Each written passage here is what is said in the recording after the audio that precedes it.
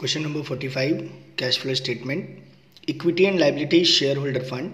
Share capital 10 lakh forty thousand से 16 लाख हो रहा है, यानी कि इशू हो रहा है reserve and surplus two lakh sixty से फाइव लाख फिफ्टी हो रहा है, यानी कि ये भी इंक्रीज हो रहा है प्रॉफिट हुआ है लॉन्ग टर्म बोरोइंग में नाइन परसेंट डिवेंचर है सिक्स लाख से फोर लाख हो गया, यानी कि डिवेंचर का पेमेंट हो रहा है ट्रेड पेबल वन लाख से फोर लाख फोर्टी यानी कि ये आपका इंक्रीज हो रहा है। आगे बढ़ते हैं। फिक्स्ड एसेट्स 15 लाख से 20 लाख हो रहा है, यानी कि ये आपका परचेज हो रहा है।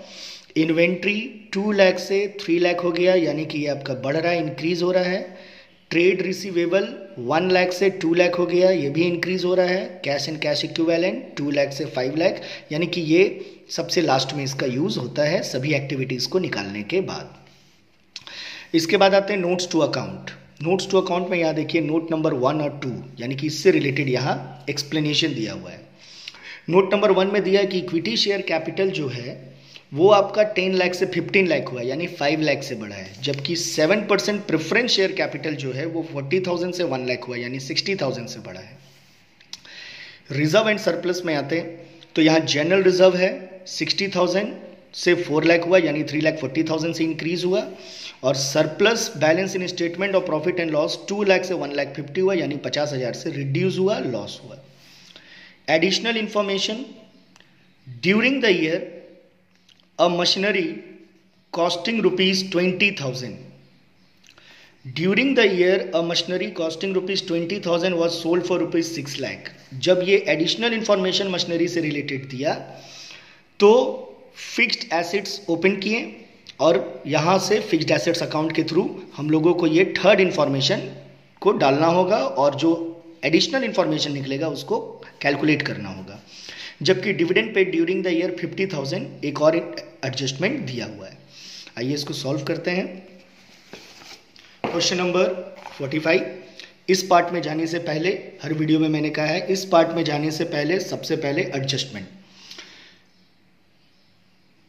fixed assets opening balance 15 lakh closing balance 20 lakh एक एसेट्स जिस पे, जिसे 6000 में बेचा जा रहा है, जबकि लॉस हो रहा है उस पर 14000 loss on sale of machinery 14000 तो 20000 का मशीन था जिस पे आपका जिसे बेचा जा रहा है छः थाउज़ेंड सिक्स थाउज़ेंड में तो फोर्टीन थाउज़ेंड जो है उस पर लॉस हो रहा है. तो ट्वेंटी लैख ट्वेंटी थाउज़ेंड में से माइनस किए फिफ्टीन लैख तो मेरा आया five lakh twenty thousand to bank account balancing figure purchase.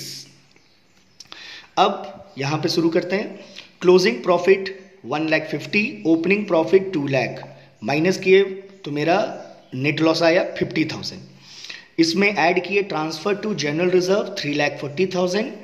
Dividend paid fifty thousand, यानी थ्री लैख नाइन्टी थाउज़ेंड को इसमें ऐड किए, मेरा आ गया three lakh forty thousand. Net profit before tax. इसमें ऐड किए interest on debenture fifty four thousand interest on debenture fifty four thousand कैसे आएगा?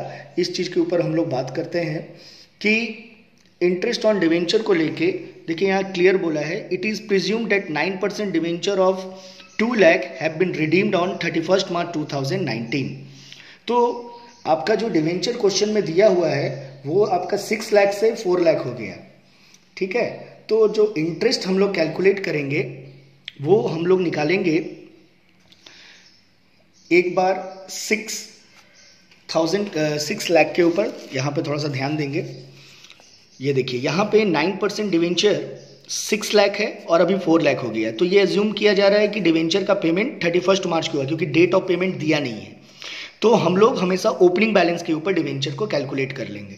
तो nine percent debenture six lakh का नाइन परसेंट निकालेंगे फिफ्टी फोर थाउज़ेंड तो अब आप लोगों को ये क्लियर हो गया होगा कि 54,000 कैसे निकाला जा रहा है। आगे बढ़ते हैं। तो 54,000 जो है ये यहाँ पे आया। इंटरेस्ट ऑन डिवेंचर 54,000 ऐड में loss on sale of machinery 14,000 ये भी ऐड हो जाएगा क्योंकि ये मेरा वर्किंग नोट के थ्रू आया है 14,000 इसको ऐड कर दिए। अब आपका थ्री लाख फोर्टी में से 68 को प्लस करेंगे four lakh eight thousand add करेंगे trade payable increase three lakh fifty seven lakh fifty eight thousand less करेंगे inventory one lakh trade receivable one lakh यानी कि टू लाख लेस करेंगे five lakh fifty eight thousand cash flow from operating activities B number में आए proceed from sale of machinery six thousand purchase of machinery five lakh twenty ये purchase कहाँ से आया यहाँ से आया और जो सेल आया, वो भी इसी से आया। तो सेल का अमाउंट सिक्स थाउज़ेंड है परचेज का अमाउंट फाइव लैख ट्वेंटी है। तो फाइव लैख फोर्टीन थाउज़ेंड मेरा cash use in investing activities आया।